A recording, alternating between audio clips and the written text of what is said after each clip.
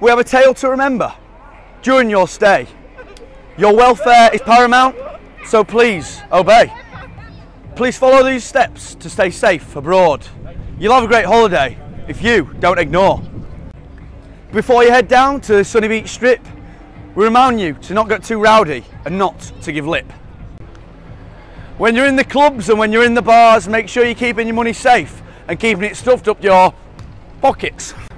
Let's be serious now and talk about your drinks. Please don't leave them unattended. Moderate and think. When you're leaving the venues and about to head home, make sure you're with your mates and never alone.